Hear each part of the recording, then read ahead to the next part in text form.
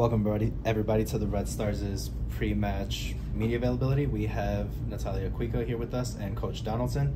As always, if you have a question, please use the raise your hand function. Uh, LT beat me to it, so LT, take it away. Hey guys, LT Red Stars report. Um, I'll start with Natalia. Uh, we've seen you play on the outside for the, the back line these last two matches. How has that um, transition been like for you? I know you've played there plenty of times in your career, but never really with uh, this club yet.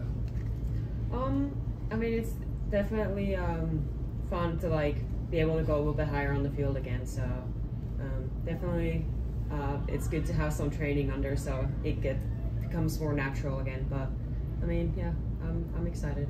It's been fun. And I wanted to get your thoughts on uh, Hannah Anderson and how she's been uh, fitting into the back line. I think she's doing good as a rookie. It's really hard to come to this league. Honestly, who like as a first uh, year playing in this league, it's hard to come. No matter if you've been professional for many years, it's hard. So um, it's exciting to see that she gets more confident on the field and with the ball, and just that she get to show what she's good at. So um, I'm excited to see her um, blossom. And uh, Lorne, I'll I'll, uh, I'll, I'll come to you. Uh, you switched a few things up, uh, switched a few things around tactically, positionally for the last week. Um, were those changes really just due to the narrow pitch at Wrigley, or were you trying new th- things for the future? Yeah, you got to look at all the options. I mean, obviously we haven't we haven't been doing well at home, especially at home. So we're just trying to just um, push the right button and just see what works and what don't work. I didn't I didn't think we switched that much up there, but. Um, you know, second half, you know, we might throw something in just trying to get, you know, get back in the game. And um, so, I mean, any switch we made tactically is just trying to, um, we can put the next team off balance and, you know, just, just trying to get some success. And uh, no one on this team has had the opportunity to play or coach in uh, Kansas City's new stadium yet. Uh, how much do you think that that environment and, and playing in a new location will impact this week's match? Yeah, I, I mean, I, I mean, I mean, I, I, don't even worry about a new stadium and all that stuff. That's never part of my concern. That's more player stuff, and I think the players just going to just treat it like another stadium and just go play. I mean, obviously, um, again, as I say, you know, for some unknown reason, we look like we are a little bit more comfortable on the road. So hopefully, we can find that comfort zone in that stadium and just go after it.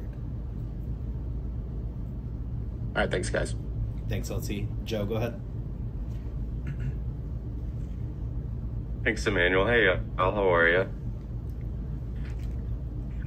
Uh, Coach, just wondering going into this weekend, uh, what do you see as some of the uh, things you have to focus in on uh, against the Kansas City side that scored 31 goals already this year? Well, I mean, you just hit it right there. we have to be very, very good as a collective group defensively, and you know, while going forward. So I mean, it's a it's a very the math is very simple. We're a high scoring team in the league, so we have to limit their chances, and um, we have to try to go get something, you know, of our own. Understood. And Natalia, just going through a first lull with this team, you know, three straight losses. I'm curious, as a veteran in the locker room, how you're seeing the group respond to uh, some adversity at this point of the season.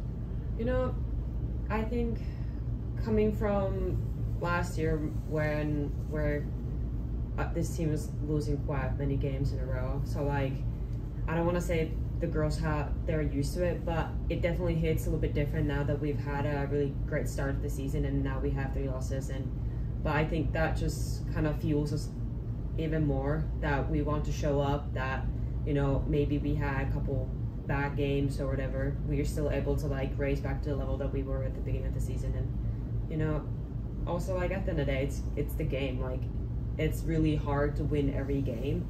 So like at the end of the day we can't like just like go like down deep on the black hole of oh my god we lost games. Like no nah, like we just gotta pick ourselves back up and focus on what we have coming ahead. Understood. Thank you so much both of you and uh, safe travels this weekend. Thank, thank you. you. thanks joe. Uh, Ednan, do you have a question?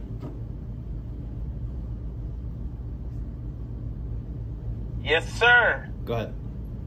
I just uh, want to ask uh, the coach Lerner uh, how thoughts about uh, the breaking record. Uh, maybe you talk about that, but how was the team feeling after uh, they find out? You know how many people come out, even they lost, but in general, after this past week, after a few days over, how's the team feeling about having that record breaking here in Chicago and uh, going to the future? Uh, you know, having another uh, game in downtown, maybe in the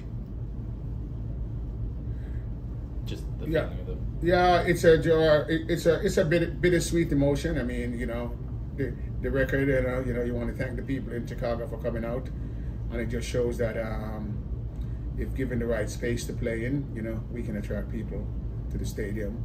But as I say, it's bittersweet. You know, you know, we didn't get the result we wanted or any kind of result we wanted. So, I mean, for the players, it's the same thing. It's bittersweet. You're, we- we're happy with the crowd, but again, we didn't give them what they wanted. So, I mean, but we we were very very thankful for them coming out. Uh, any last questions for either uh, Natalia or Coach Donaldson? Cool. Like not. Hi, this is Allison Moran. I'm, uh, it's been a while since I've been a part of these press conferences, and uh, I uh, it's I'm very happy to be back at this time, uh, uh, working uh, on uh, Token Female on Sports. Um, I wanted to uh, uh, ask you, Coach, um, what what is the um, main focus in terms of uh, of um, uh, handling Kansas City this uh, this upcoming match? Um, is it primarily, um, as you said before, limiting the opportunities, working more on the defensive side? Um, what uh, where are you going to be uh, placing your um, your uh, uh, your trust in? Uh, in terms of uh, overcoming this uh, three game uh, deficit that you have? Well, I mean, again, uh, obviously they're the highest scoring team in the league, so we got to limit their chances, and then we got to try to go on the other side of the ball and try to get something, you know, so go in. So, so it's a little bit about, you know. But again, you know, our focus is going to be just overall team performance. You know, we just have to be better. Great. Thank you so much. Uh, looking forward to uh, seeing the match and uh, looking forward to uh, covering more of these press conferences this year.